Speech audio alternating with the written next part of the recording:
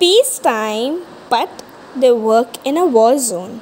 Healthcare workers encounter masks, gloves, goggles back and forth around gurneys, beds, ventilators with the dedication of Florence Nightingale in a BFF of activity, eyes expressionless.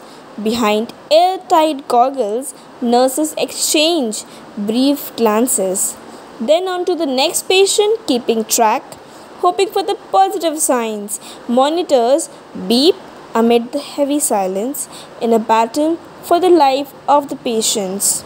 Some hang on, others lose. Families at home, anxious for news. The phone rings, the doctor delivers the news in a monotone. A family breaks down, shattered, back in the war zone. More work to do, back in the war zone. A shift ends, gear peeled off, time to scrub down and head down. Exhausted warriors emerge from the trenches, a silent prayer on their lips that the unseen enemy is scrubbed off and not following them home. In the empty streets, the sound of the siren is pierced by the sound of the siren. Another ambulance arrives.